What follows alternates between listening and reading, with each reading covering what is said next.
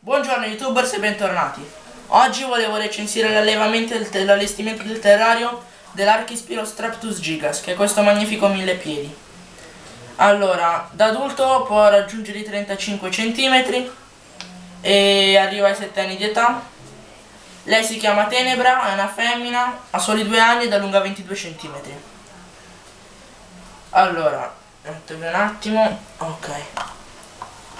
Allora, questo animale si è disturbato molto se cerne un liquido rosso che ha un basso contenuto di cianuro e a contatto con la pelle provoca solo una lieve irritazione, però se entra in contatto con le mucose come gli occhi e la bocca eh, la questione si aggrava un pochino.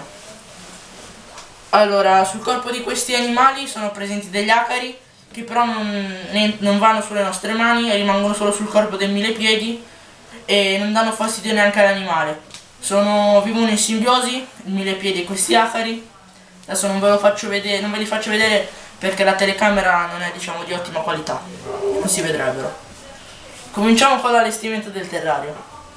Allora, io uso 3-4 cm di torba, eh, il mille piedi ha bisogno di scavare in profondità, alcune volte sopra la torba metto anche delle foglie secche per creare più nascondigli per i mille piedi.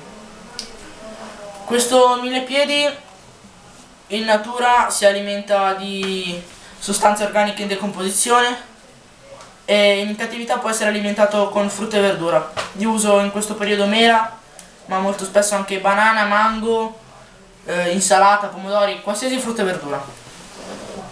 È indispensabile una vaschetta dove mettere il cibo per non farlo entrare in contatto con la terra perché le feci di questo animale sono ricche di batteri e se a contatto col cibo provocherebbero delle infezioni gravi per il nostro animale.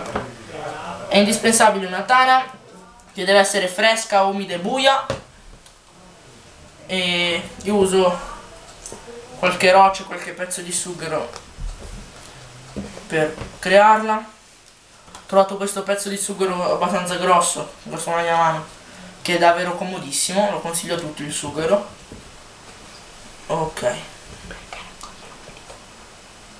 Così dovrebbe andare bene. Ok.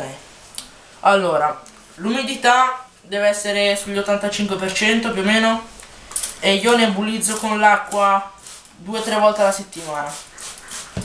Però bisogna nebulizzare abbastanza. Ok. Allora io questo esemplare l'ho comprato due anni fa in Tomodena l'ho pagato 5 euro, l'ho comprato a uno stand di spagnoli. E ultimamente ho visto anche su internet che questo animale viene a costare anche 15-25 euro. Infatti il prezzo adesso è molto alto. E vi ricordo che il 23 settembre sarà la fiera di Origgio a Varese. E grazie per la visione spero vi sia stata utile questa scheda Arrivederci al prossimo video.